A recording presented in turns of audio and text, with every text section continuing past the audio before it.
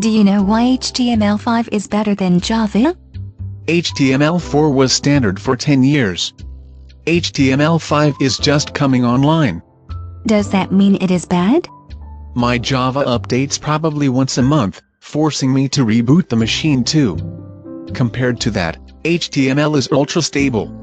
That cannot be the only reason HTML5 is better. HTML5 has links and tags for audiovisual files and multimedia. It eliminates the need for Adobe Flash. I think Adobe Flash is responsible for as many browser crashes as Java is. Adobe Flash plugins are probably what crashes, but yes, HTML5 gets rid of that. One of Java's few advantages is that it runs on pretty much any operating system. So does HTML5, as well as in any browser. Even IE Internet Explorer? I'd almost say in spite of IE because so much is now browser-based and even software is accessed remotely through a browser session.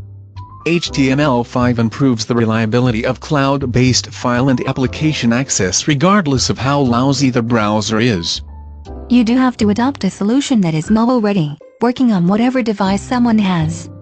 Java is resource-intensive and crash-prone. HTML5, however, is perfect for mobile devices.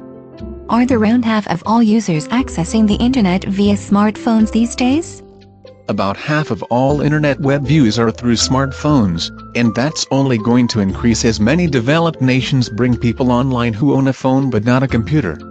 I heard even gaming sites like RuneScape were moving to HTML5. It made them an online app instead of a Java-based game.